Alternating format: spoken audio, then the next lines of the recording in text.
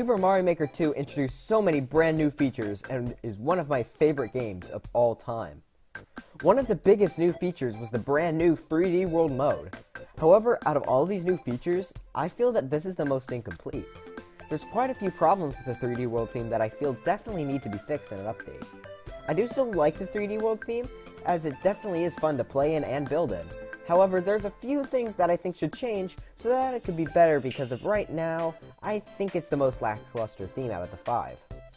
So today, I'm going to go through some of the aspects of the 3D World theme that I feel should be changed to make it on par with the other four main themes, which were done perfectly in my opinion. But anyways, let's jump right into the changes I think should be made. First off, we need to change how switching between different themes works. As of right now, I am very scared to make a level in the 3D world theme, as whenever you try to switch the theme, if maybe you want to change your mind halfway through, it completely resets. Now I do understand why this is. Some items don't have equivalents in the other themes, so they wouldn't have anything to replace them with. However, why not just have those items disappear and have the items that are in all the themes stay? Even though a lot of the 3D World items are exclusive, it still shares a lot of elements with the other themes, so I would suggest just keeping those. Maybe a pop-up could come on screen to say which items disappeared between the transition. But anything would be better than just having the whole stage reset. If they were to fix this, this would make the 3D world theme a lot less risky to build in. Our next thing is adding in a feature that really should be there being shells. Now it is possible to get Koopa and Spiny shells, however it isn't possible to spawn them in from the start like you can in the other four themes. Shells allow for so many complex contraptions to work, and I don't think it's too much to ask to be able to place these things, considering they already exist in this style. And no, these shells don't need to be wearable. Just have the shells function as they do now, but have them be able to be placed from the start, instead of having an enemy inside. This will open a lot more possibilities for complex contraptions, especially with the new blocks in 3D World. Next I suggest a complete overhaul to how the semi-solids work in this theme. The one main good thing I can say about them is that I like how they work with the cat suit where you can climb on them. However, there's a lot more room for improvement. For one, there's only one semi-solid design for each of the different styles, unlike the other themes, which has three, which was kinda disappointing.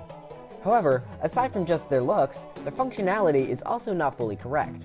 For one, you can't place a lot of the items on top of them like doors, which does make quite a few difference and does make it very hard to use them as background. Speaking of using them as backgrounds, you can't place blocks on the top layer, which severely limits its use for decoration. Just changing the semi-solids function to how they work in the other themes, plus the new catsuit functions, would severely help this item. The next missing feature doesn't make any sense. For whatever reason, enemy stacking was removed, despite enemy stacking being in the original 3D world. Seriously, this feature is a very important thing for making contraptions, or even just keeping enemies still so you can make jumps for example. This one really should be in. However, unlike the other things, I'm going to say I don't see this coming in an update, as this would likely change a lot of old courses and how they work, which could lead to impossible levels.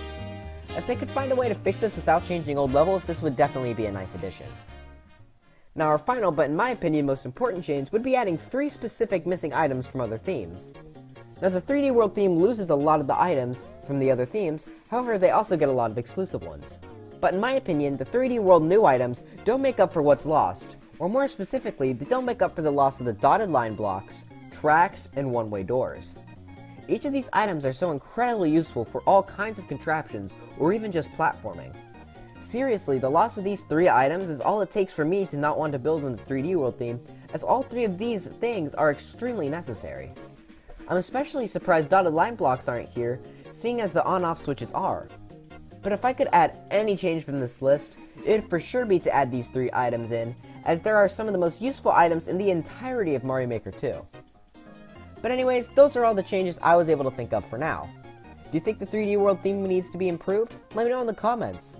Despite all of the improvements that I feel should be made, I still think the 3D World theme is an amazing addition, and I'm super happy it's here. But anyways, if you enjoyed this video, then leave a like or consider subscribing for more content on Mario Maker 2 or anything Nintendo Switch. But anyways, I'll see you guys next time. Bye.